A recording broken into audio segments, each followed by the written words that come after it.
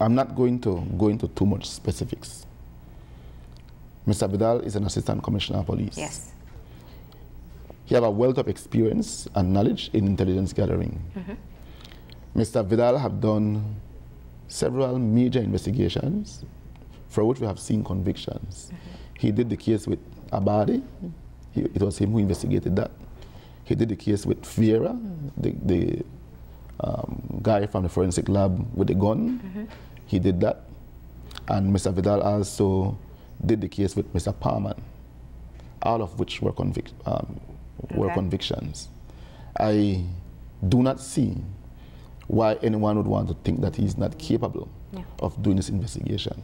So you're I, going on his track record with successful convictions yes. in the past? And those are persons who had influence.